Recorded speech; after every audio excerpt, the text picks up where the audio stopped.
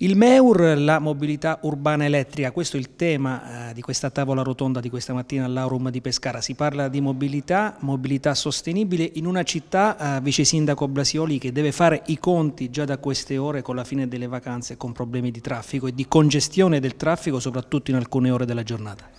Sì, parliamo di mobilità elettrica, ma in preparazione di una grande manifestazione Ecomob che si terrà il 26, 27 e 28 di ottobre nella nostra città di Pescara al porto turistico. Gli autoveicoli, gli autobus, insomma tutto il materiale rotabile nella nostra città costituisce circa il 25-28% dell'inquinamento che c'è nella nostra città.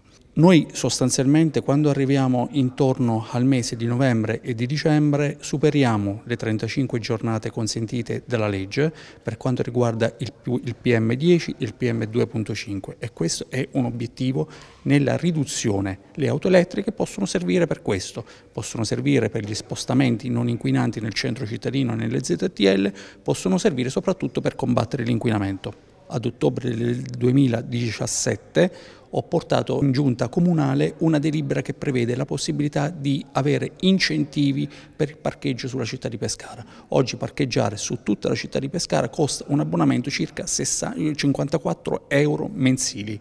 Per le auto elettriche e ibride per la città di Pescara parcheggiare in un anno, quindi non in un mese, costa circa 54 euro. Aderendo a un protocollo d'intesa con Enelix, che è il settore diciamo, innovativo di Enel, abbiamo installato sulla città di Pescara circa 10 delle 19 centraline di ricarica eh, delle auto elettriche.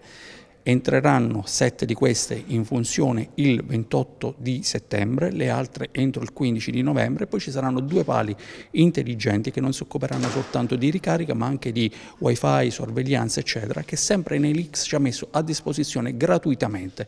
Questo perché? Perché vogliamo incentivare sempre di più l'utilizzo delle auto elettriche nella città di Pescara.